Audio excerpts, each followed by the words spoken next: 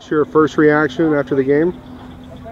Great game. You know, we wish we would have won instead of losing. Had a couple chances at the end, but great game. You know, I'd have paid money to see this game. It, it was a great game. You know, great effort by both teams, and they made the plays when it counted.